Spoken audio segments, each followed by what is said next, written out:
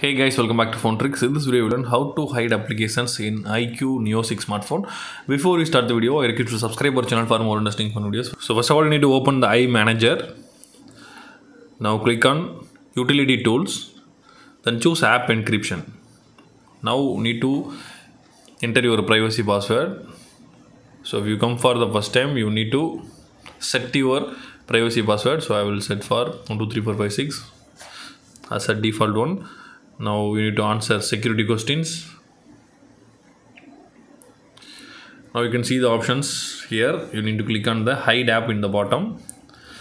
Now you can see amazon asphalt 9 any applications you can see. If you want to hide amazon you need to enable the amazon then click ok. For access the hidden applications uh, you can enable the gestures for that. So i will enable the gestures you can swipe up with the two fingers on the home screen to view the hidden applications.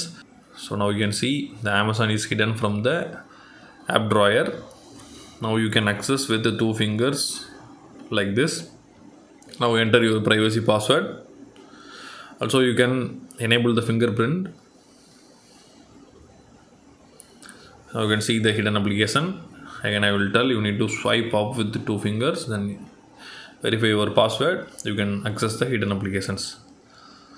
So that's all guys. I hope this video is very useful to you. If you like this video hit thumbs up. See you next video. Bye bye